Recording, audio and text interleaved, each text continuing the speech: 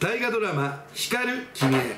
今回は7月21日放送。第28話「一定二項」についてお話していきたいと思います。南紀師匠ね、はい。そろそろ後半戦ということで登場人物がなんか増えつつあるような気もしません、ん。だから私意外にあの番組クレジットなんかよく見てるんですけど、もうねタイミングがいっぱい入っちゃってねずれてんですよ、はい。あれ以前以前だったらずーっと前半戦真宙って絶対このタイミングだったのに前倒しになってるとか、いろいろそういうのが気になるタイプで今回もいろんな人が出てきていろいろ盛りだくさんだったんですがまあ今回メインは少子の立合とバトンタッチしたかのように崩御した天使ということになりますね。で今回は盛りだくさんでいろいろご紹介したいことはあるんですけれども、えーどちらかというと天使の思いを中心にご紹介していければと考えています。ではよろしくお願いします。天使崩御と聖少納言一条天皇との愛ということなんですが今回意外に長く展開したんですよ、999年から1001年1月、まあ、新暦なんで旧暦では前の年の12月までなんですけれども、はい。そのような定子崩御までが描かれました。でまず最初記録との対比を一番最初にドラマそのものより申し上げておきたいんですが定子崩御がなぜ紫枕草子で描かれないのかについて少し触れておきたいんですね、これ何かっていうと定子が崩御する長長保2年の12月の半年ぐらい前の端午の節句5月5日ですね、はい。で青刺しというお菓子のエピソードが枕草子にも載っているんです、ん。でちなみに枕草子も必ずしも全部順番で書かれていないので時系列的にはこれが定子との最後のエピソードだったんではないかと分析されています。で最後ってことはね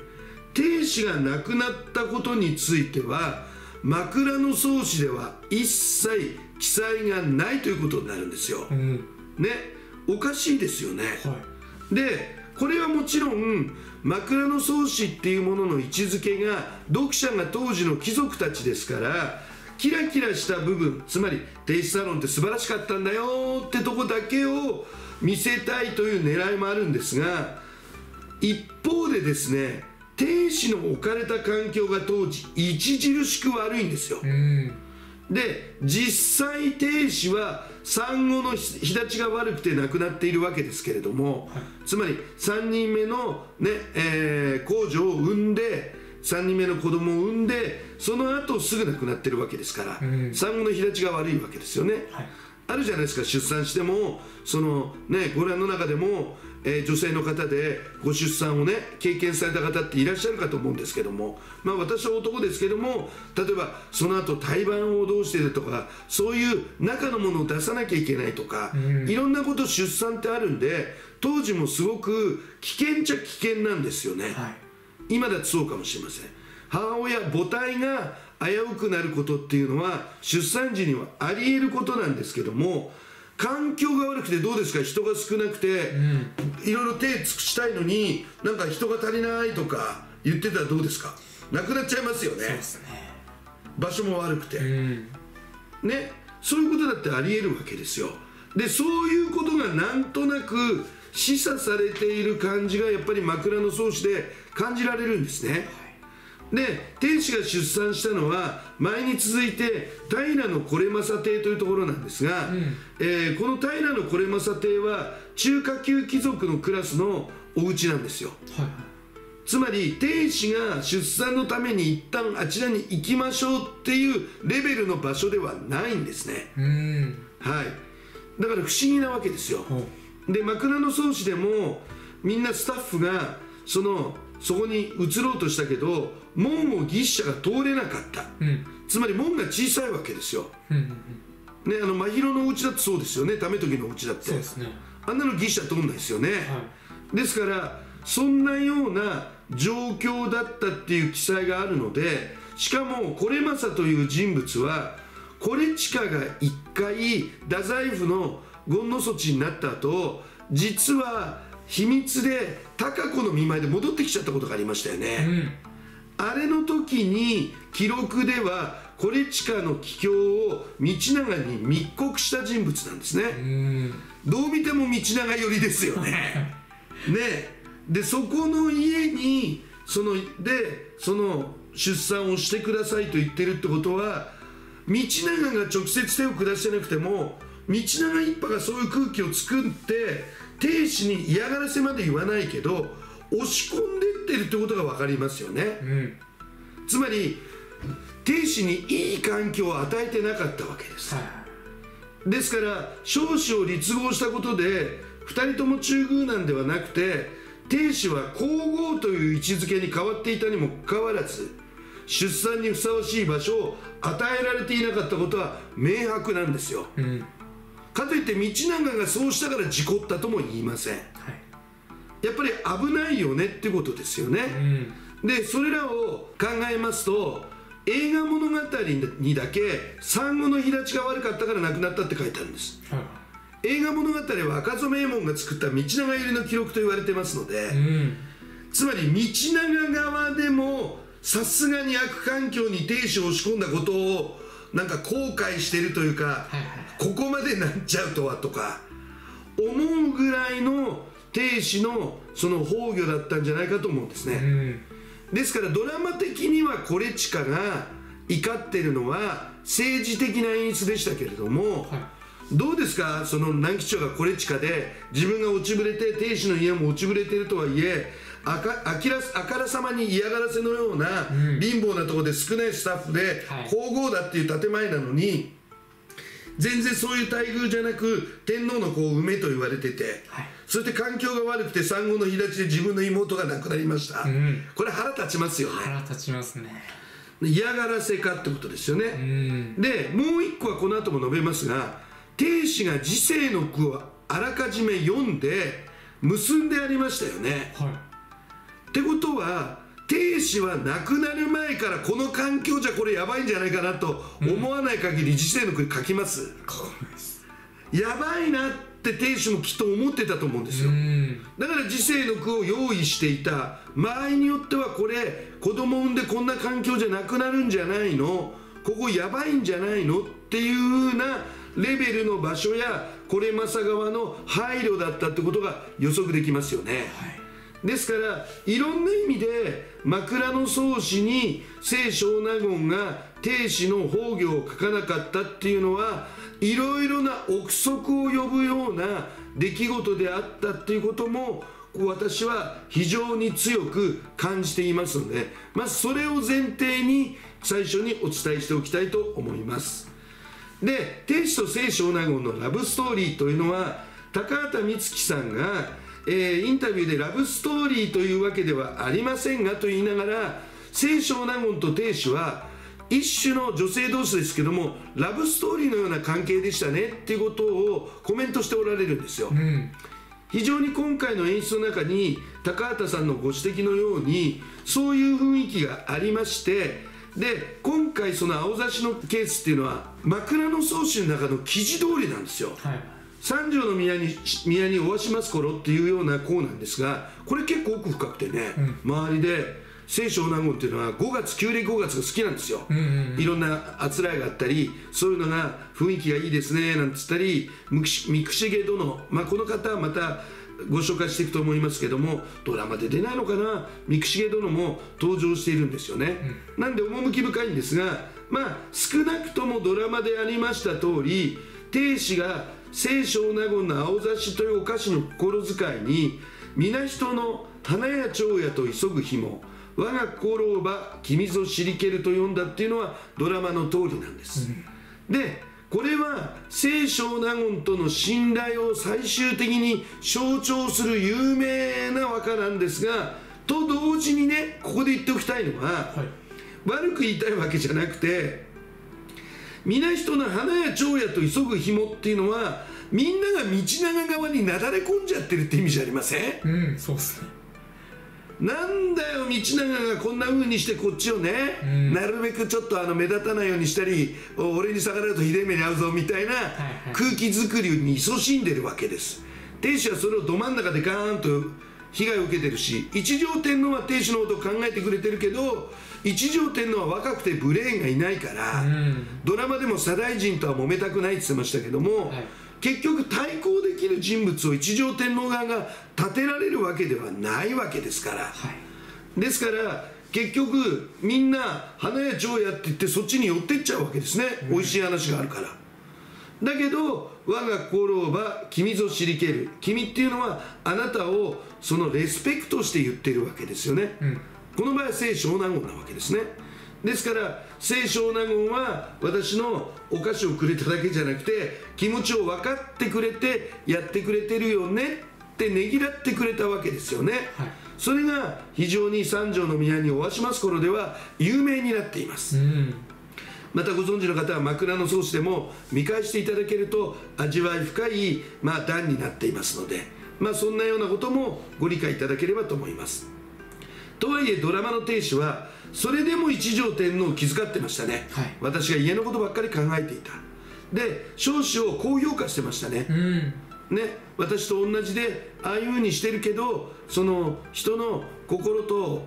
行いと思いは違いますから、はい、まあ、つまりビシッとした人ですよちゃんとと、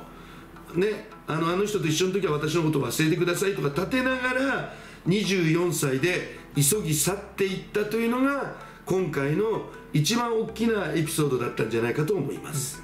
うん、まあ時世を用意した亭主と一条天皇の御成ということですがまあこの写真でコレチカを持っているのが、まあ、亭主の時世が紙に書かれていたわけですよね、はいで3種用意されて、まあ、片あごめんなさい。帳の片びらに結びつけられていて清少納言が気がつきましたよね、うん、でまあ有名なんですが「よもすがらちぎりしことも忘れずは恋恋涙の色ぞゆかしき」1つ目ですね。2つ目が「知る人も亡き別れ時に今はとて心細くも急ぎ立つかな」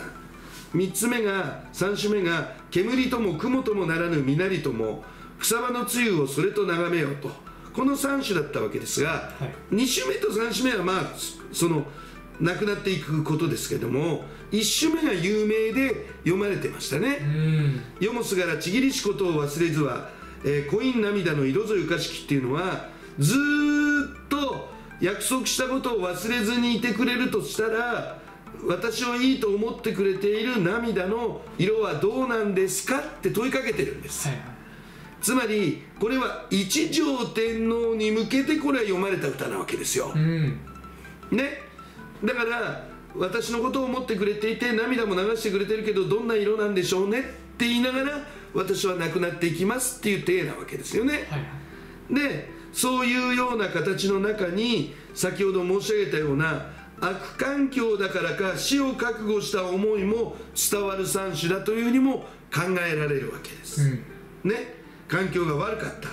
で道長側がまあ言葉悪いけど意地悪っぽくしたと。たださすがにそこで悪環境で死んじゃうとは思ってなかったと思いますけど、はいはい、まあ要するに少子が上だぞって空気を作りたかったんでしょうね。亭主の方が上だと思われちゃうと困るとい。うのがあっただけなんだと思います。一方の一条天皇がそれに対して御政つまり天皇の和歌ですねを読んでおられるんですが紹介されませんでした、うん、これは延べまでに心ばかりは通えども我がみゆきとも知らずやあるらんというこれもちょっと有名です、はい、つまりこれから何が分かるかっていうと亭主はその3種目の関係から雪の舞う日に仮装ではなくて鳥辺野で土葬されたんですよ、うん、なんですがこれを読んで分かるのは一条天皇はその現場には行けなかったもしくは行かせてもらえなかったってことが分かるわけですね、うん、ですから何らかの理由で宮中にいて駆けつけられなかった自分なので延べつまり早々の場所までに心だけが通っていると、はい、ってことは自分は行ってないってことですよ。でも自分のみゆき行幸ですね。自分がお渡りになってるということは分からないであろうなと心だけが言ってるから、うん、亭主は自分が一緒に来てくれてることっていうのはきっとわからないことだろうなというごめんねって意味ですよね、はい、だからまあコレチカも言ったように悲しいお歌にどっちもなっているということになります。でもいずれにいたしましても今回亭主という時代にもてあそばれながらもけなげに生きた女性がいてそれで聖少納言との信頼関係っていうものができてきた、でこれ私もちょっと深掘りで申し上げましたけどもここから道長は政治的に安定するので、はい。一条天皇と道長そして少子の方に向くかって話が主になるわけですが、うん、それだと単調なんでねおそらくかなりコレチカがかき回すと思うんですよ。予告編でも呪詛してましたね、はい、コレチカって記録ではあんまりそういうえげつないタイプじゃないんですよ、なんですが道長があまりライバルがいない中最も恐れた人間でもあります。はい。コレチカは。なのでこのドラマではコレチカがライバルとしてかなりかき回す役をここからやっていき清少納言もこれ枕草子の話はどっかの深掘りでやりますのでやっぱり道長道長推しっつってんですよ清少納言は,、はいはいはい、だって読む人が道長を批判しちゃったら読みにくいじゃないですか、ね、読者が、はい、読者が広がらないですよね。だけどさっきから言ってるように亭主の崩御をあえて書かずに、平惟政の屋敷がいまいちだったことは書いてある。同時代の人だったら分かりますよね、だから遠回しな道長批判なんですよだから清少納言はどう動くかは分からないんですがこのコレチカがかなり動くんじゃないかってことも予測できる流れが今回の28話を見ても布石として理解できた方は多くておられると思います、うん、えー、あとはまあいろいろですが猛牛、うん、ね猛牛。ね猛牛っていうのがね近鉄バファローズかとかそういうんじゃないです。違う。ね違います。字も違います。実はこれ第1話で出てたんですよ、うん、為時が太郎ね信則に猛牛読んでたんです、はいはい、やる気がないんです。で真宙がそらんじたり三郎と会う時も河原で言ってんですよ、うん、王獣寛容徘徊政党公明画領とかとうとうあるんですがこれ猛牛っていうものなんです今回明子の子供たちが読んだり真宙が片子に読んでることからまあそういうので久々に猛牛が連発してました、うん、道長も猛牛かうんとか言ってましたがこれ第1話で言おうかなと思ったんですがここまで芸が細かくなると思わなかったんで 別に猛牛なんか触れなかったんですが、これは唐の時代の簡便な偉人伝なんですねつまりえー、王獣ってあの三国志の時代の人だし徘徊もそうだし孔明って諸葛亮孔明ですよね、はい両房なんていうのは太公望のことですから、うん、だからそういう中国の偉人たちを簡便に紹介したものなんですが中国ではともかく日本では平安時代から漢石の書法として用いられたんです。非常に長いんですけどこれなんですが用いられたんでその時代の背景として猛牛をまあ多分子供か最初にやるものとして何ていうんですかね演出していたんだと思います。ね。なんで今回連発されていたのがなんか興味深かったですね、はい、今後も出てくるかもしれません。猛牛覚えておいてください。こういう字を書きますで一定二項への雪成の努力や日記消去ということですがこれ過去動画で何回も話した通り記録では道長は結構やけくそで少々おっしゃったんですが、うん、それを一条天皇と調整したのはほぼ全て雪成です、うん、で少子立号の立役者は記録でも雪成であり道長の多大な感謝が権記にも残されている。ちょっとありましたね、うんうんその雪成の出世は俺が責任持つしお前の子子孫の出世は俺の子供たちがその必ず担うと、うん、あれ権記にその通り書いてあるんです。それぐらい道長は雪成が想像以上の頑張りをしてくれたっていうことを感謝したっていうのは記録にも残っています、うん、で大原の神社って言ってましたけどもあれ大原の神社の神事が滞って神が怒ってるからって言ってるけど大原の神社っていうのはあの長岡京を作った時にできた藤原氏の氏神なんです、うんうん、中身は春日大社なんですね。だから別に天皇家関係ないじゃんっていう。ね藤原氏の氏神なんだけど結局はそれが都に近い氏神の一つなんで吉田神社とかもあるんですが、うんうんうん、それなんで藤原氏は大事にしていたからしかもいわゆる藤原氏が石棺期にこのような受題をする時にそれを支えていたお宮であることは本当なんですよ、うんうんうん、ですからそこをその亭主が出家したことによってお祭りの主軸になれない、うん、これやっぱおかしいことですよね、はい、でも多分ねご神職がその分やってると思うんですけどもまあ雪成はことほどさようにこれに限らずいろいろな記録に残ってるんですが各種のその少子がそのいないと困るっていうことを羅列したんですよ、うん、雪成は緻密なんで、はい、それによって一条天皇もそれはまずいなっていうことで少子が立合されたという経緯は本当です、うん、また一方で記録上は道長は焦っているので、はい、生命に立合の祈りを占わせたのも本当なんですよ。2月25日とか言ってましたがで御事のりが出てないのに御堂関白期に書いちゃったみたいなんです。だけど御事のりが出なきゃ2月25日って勝手に進めたって意味ないですよね。でそれをビーって消したシーンがありましたよね。あれ本当に消したまんまその現代でも御堂関白期って実質が残ってるんで、えー、消したやつ残ってるんですよ。で全部は分かんないんですけどもねあの安倍晴明の「春明」って書いてあるのが、読めるんですよ、2箇所なんで日程を先に決めちゃって先走っちゃったんで道長が消したろうっていうふうに研究所も言われてるんですが、うん、これを完全に再現。